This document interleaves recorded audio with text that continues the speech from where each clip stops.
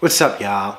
MarXman here. Y'all want to contribute to the I'm So Dope challenge. Shouts to all the artists who've been doing this thus far. You've been killing it.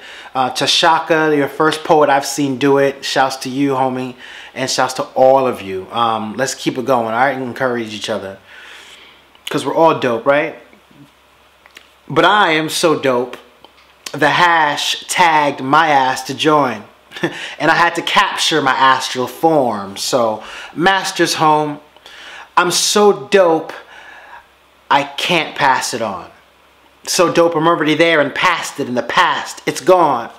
Read the post it on your forehead. It reads, I'm dope. Pass it on. so dope, my vocals manufacture mastered songs. I'm so dope. Seth MacFarlane's inspired again.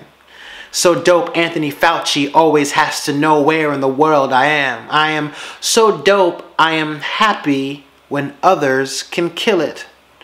So dope to know that I know that I know there's a difference. I'm so dope I can't spit this verse without laughing. The irony, when I'm so dope, it is hardly a challenge. I am the MarXman. Peace.